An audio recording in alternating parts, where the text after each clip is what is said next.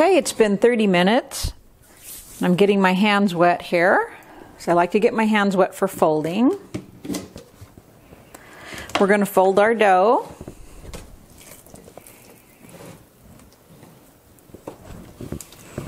You take it from each side and fold it. Stretch, fold, stretch, fold, and then we'll turn the whole thing over. Flatten it out to help keep the temperature even. Okay, we'll be back in 30 minutes.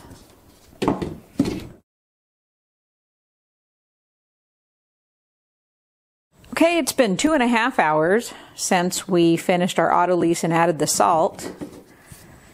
And I'm going to go ahead and make this into um, a boule shape.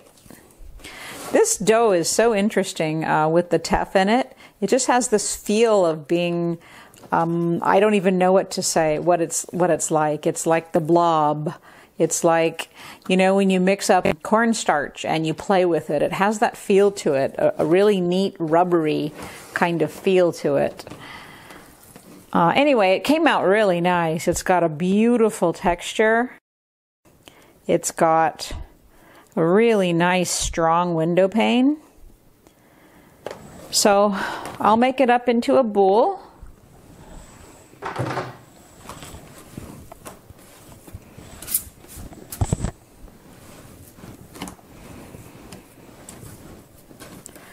and we'll see how it does.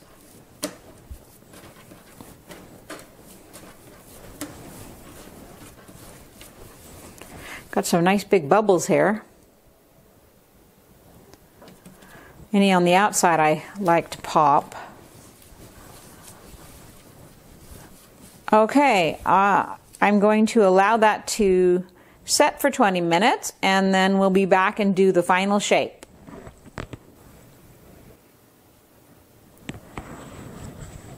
Okay, it's been 20 minutes. Let's finish rounding this up.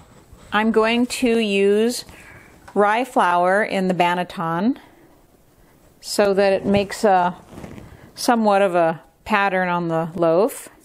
And rye flour is low in gluten, so it doesn't tend to stick as much as the white flour would. So we'll do a final rounding. Nice loaf. It'll be very interesting to see how this turns out. And we'll turn that upside down, place it in there. Now I'm going to put this in the refrigerator overnight. So we'll see you tomorrow morning for baking.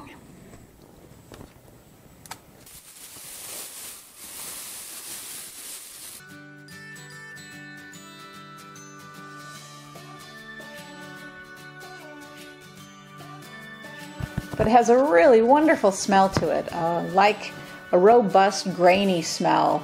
Very, well, I would say ancient, but who knows what ancient grains smell like. So I'm going to take a taste here, see what it tastes like. So I've never worked with the teff before, and it was real interesting.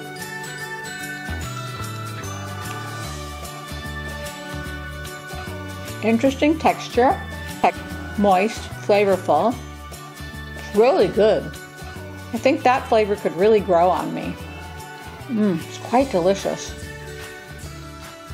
See you next time. Bye.